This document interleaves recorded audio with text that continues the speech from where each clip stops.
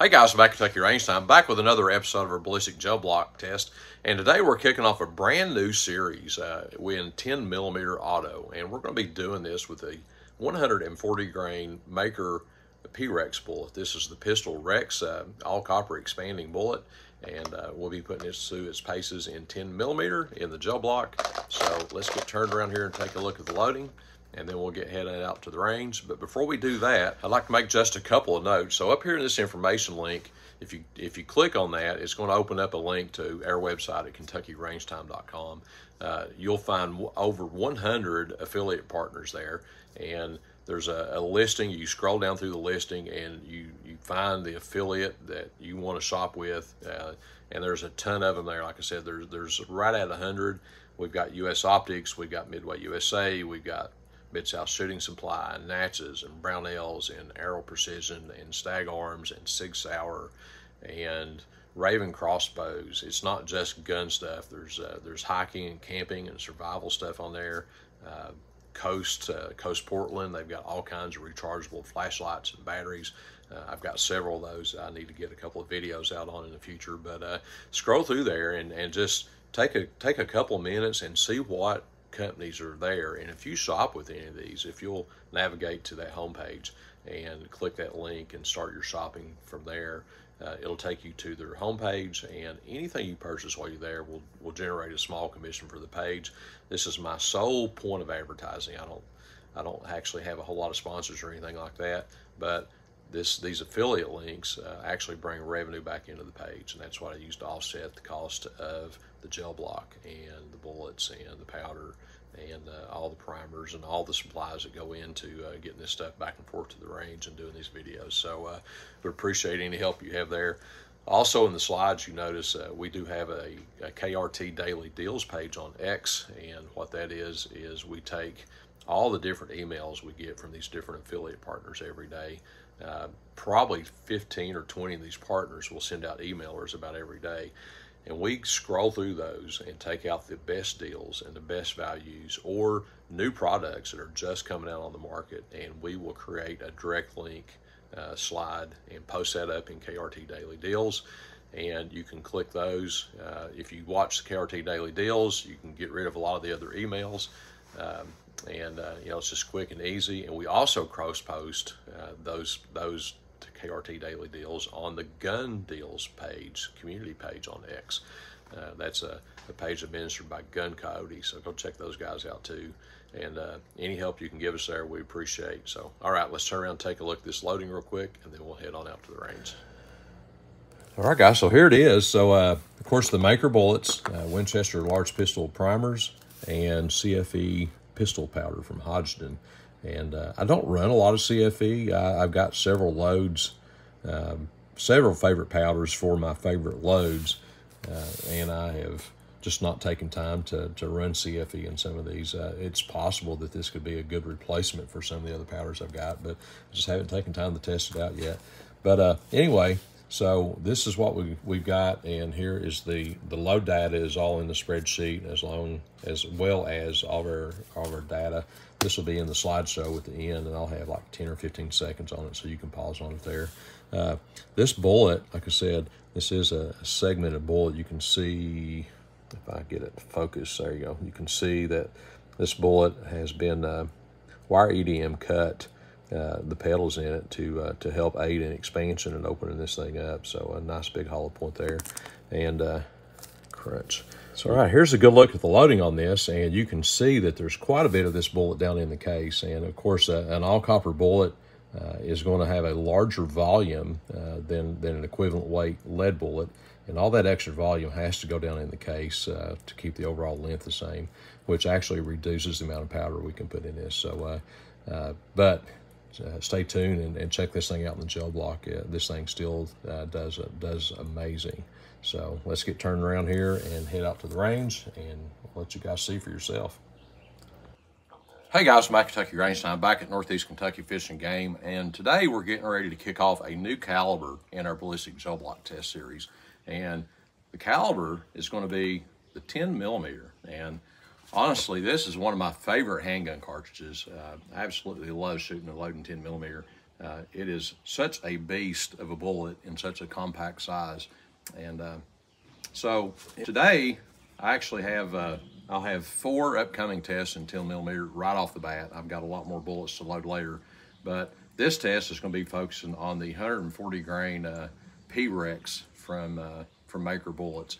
And this is an all copper segmented bullet, and we should get some really good expansion out of this.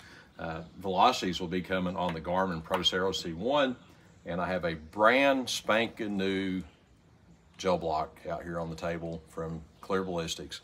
Uh, this will be the first round shot in this gel block. I've been kind of saving it back for this bullet and actually for this load. Uh, really wanting to see what this uh, this P-Rex will do out here. And the bullets that'll be coming up pretty quickly is the uh, Hornady 200 grain XTP, the Hornady 180 grain XTP, and my little speed demon. This is the 135 grain uh, jacketed hollow point from Nosler. And this and the 200 grain both are, are pushing 700 plus foot pounds of energy out of a 10 millimeter. And uh, that's, uh, that's equivalent. That's right about the energy we were getting in uh, some of the 44 mag loads out of the, uh, the two and three quarter inch combat magnum. So that's, uh, that's what we're looking at today. And then the testing format, uh, it's more than just a Glock 20. So this is a Glock 20 with a, a Storm Lake uh, replacement barrel because I do cast and, and, powder coat and shoot lead bullets in this as well. So we've uh, traded that out for the Glock factory barrel. I also have a six inch barrel from Lone Wolf and we will be shooting both of these barrels with each one of these bullets as we progress through this test. And later on, I might even pick up a, a longer barrel. I know they make a nine inch barrel drop in for the Glock 20 and I've also been looking at a an AR platform in 10 millimeters. So if uh, if I pick up a, a, that another longer barrel or uh, that AR platform, then we'll be adding those to the test uh, test format as well for future loads. And I'll probably come back and retest some of these loads that, that we didn't have it in. But all right, let's get started. All right, guys. So I had a little technical difficulty getting the camera going, and I missed the the downrange view of, of the first shots with these this P-Rex bullet. So I'm going to redo uh, these, this clip real quick. And so we're going to start out with the 140 grain P-Rex uh, all copper bullet from Maker now, Bullets. I've already put both these in the gel block. I've already put them both in the backstop to get the, the, the velocity, the two shot average on the velocity. And I'm just running these so you can see the recoil um, from the gun on this one. And I've got the camera set up a little bit more of a side angle so you'll, you'll better be able to see that recoil. And again, I'm just going to put these down there in the backstop.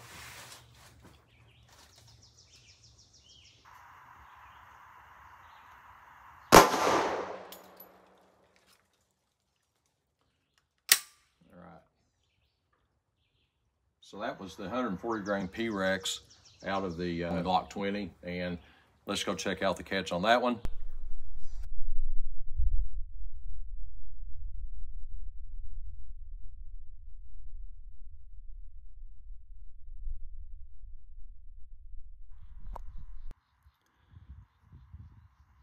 All right, guys, so here's the entry point for the P-Rex bullet.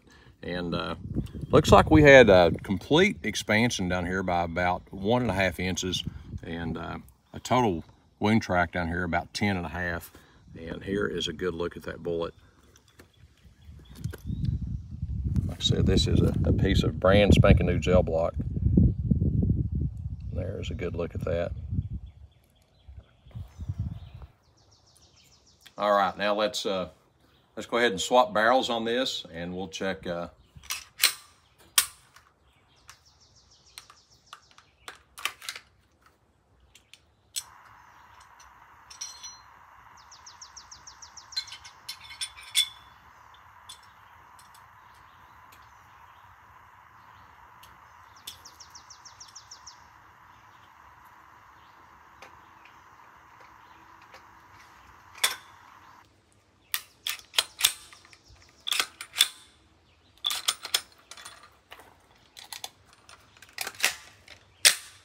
And this is the P-Rex 140 grain all copper out of the six inch barrel for the Glock 20.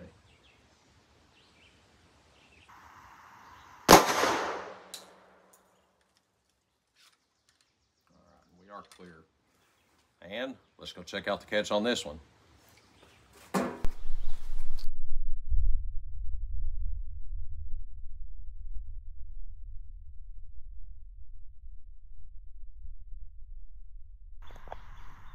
All right, and then right here is the, the start of the wound track for the six inch Glock barrel. And looks like a, uh, looks like our expansion started maybe just a tad bit quicker on this one than it did with the shorter barrel. And the wound channel is just a little bit larger here. And total penetration down here at nine and a half inches.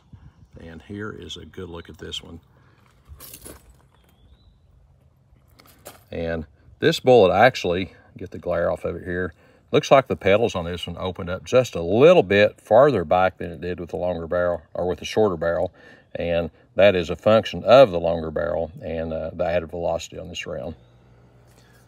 All right, guys, back in the shop, and we've got these things dug out, and here's a look at the results. So here is our unfired bullet, and this is the 4.6 inch barrel, and this is the 6 inch barrel. And as you can tell here, the petals on the 4 inch barrel opened up almost uh, to 90 degrees and the petals on the six inch barrel actually opened up just past 90 degrees. So really good showing out of both of these bullets. And uh, you can see right here a little bit better what I was talking about on, on how far the petals opened up. So uh, the, the velocity difference on these was 1,210 uh, foot per second on the, the 4.6 inch barrel and 1265 foot per second on the six inch barrel. So we had a 55 foot per second velocity difference. And this is the difference that 55 foot per second makes on these two rounds. Uh, very nice numbers. Uh, average energy on this was 455 foot pounds and 498 foot pounds. Uh, of course, 100% weight retention on both of these bullets, and penetration was 10 and a half inches with uh, the four inch barrel and nine and a half inches with the uh, with the six inch barrel. So uh, that was average on a on a two shot velocity. Final expansion, we had a 0.893 average uh, for for the four inch barrel and a 0.939 on the six inch barrel. So some really good numbers there, guys, uh, coming in here on this on this all copper bullet. And out of 10 millimeter, this thing is just a beast. All right, guys, and this is the this is the bullet out of the six inch barrel, and this is a 139% expansion on this bullet. Uh, absolutely, absolutely wonderful expansion numbers on this thing. Paul did a, a remarkable job on this one. Uh, the only drawback that, that this bullet has, it's 140 grain, and because it's an all copper, uh, 140 grain at the velocity that this was running at just did not have uh, the penetration that you would want. Now, this 139% expansion really hinders this bullet on uh, on its penetration depths as well. So, you know, it's a it's a serious trade-off. The the the temporary wound channel, as you saw in the video on this, was massive. Uh, the, the the hydrostatic damage that this is going to do is is substantial and this bullet is going to cut uh, just a, a, path of devastation in for the distance that it goes. But uh, would like to have seen a few more inches, you know, another four, five, six inches of penetration out of this, and and then it would be the perfect uh, defensive bullet for 10 millimeter. Uh, so anyway, guys, just uh, just another awesome uh, showing for Maker Bullets and, and Paul over there. Uh, you know, it, it's hard to take a copper bullet with a bigger volume and, and losing the powder that gives you the velocity. And, and, it's hard to get that extra penetration out of out of a 140 grain bullet. So uh, completely understand why we got the penetration that we did, but still would like to have seen just a little bit more, and uh, and maybe stretching the powder charge up there a little bit and going into some uh, some subnuclear loads uh, would probably get you I'm there. Shooting now. this out of a Glock so keep that in mind. Always, always work up uh, to powder charges that are safe in your gun. So knowing I'm running this out of a Glock and knowing I'm running this out of this Storm Lake and this Wolf barrel, and I'm I'm confident I've shot and loaded for these barrels for years now, and I was confident enough for my gun to go a little heavier uh, on the charge for this. So I actually kept the 7.6 grains uh, with the copper bullet. Normally I would decrease that load a little bit uh, for an all copper bullet from going from a lead core bullet to a copper bullet, but I, I felt comfortable keeping that load on this one. And after seeing the brass and, and, and firing this, I would be comfortable stretching this up a little bit hotter. So, but that's a, that's a function that you guys as the loaders are going to have to make, uh, taking into account your equipment and your experience of loading for this. So, uh, um, you know, I, I'm running a 24 pound guide rod spring in this Glock 20 as well, which uh, allows me to run loads quite a bit higher than, than, than listed book velocities. And uh, so that all plays back into this. So just, just be safe with what you do and work your loads up slowly to make sure you don't damage anything, especially yourself. Um, so, all right, guys, uh, questions or comments, uh, I'd be glad to hear those. Post them up in the in the comments here. Um, if you haven't already, please hit that subscribe button, the like button, leave me a comment, and if you've got social media sites where other people would enjoy this video, feel free to copy the link and share this link out to somebody else. Uh, those four items, along with uh, checking out the affiliate links uh, webpage and, and, and doing some shopping there, uh, is the best way that you can help support this page and keep me going. I've had a lot of questions over the last couple of weeks about do I plan on doing 45 Colt uh, series? And yes, the answer to that is I do plan on eventually making my way to 45 Colt. Right now, I don't have any firearms to to test 45 Colt in and to do the test the way I like to do them.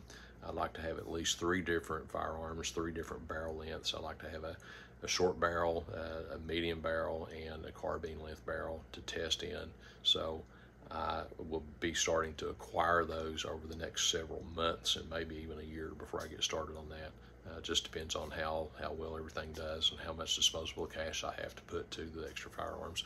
Uh, I am getting ready to pick up a 444 Marlin. That will be my next uh, next caliber that I add. I actually already have that priced over to that local gun store over here. Probably will picking that up in the in the next several days, uh, and then I'll be going back through all these 44 mag bullets. I think I've tested something like 23 different 44 mag bullets to date, and I'll be testing most, if not all of those, uh, in the 444 Marlin as well to see how these things perform. Uh, the additional velocity can be very devastating for some of these bullets, especially the, the standard uh, hollow, uh, XTPs and hollow points uh, at 10 yards.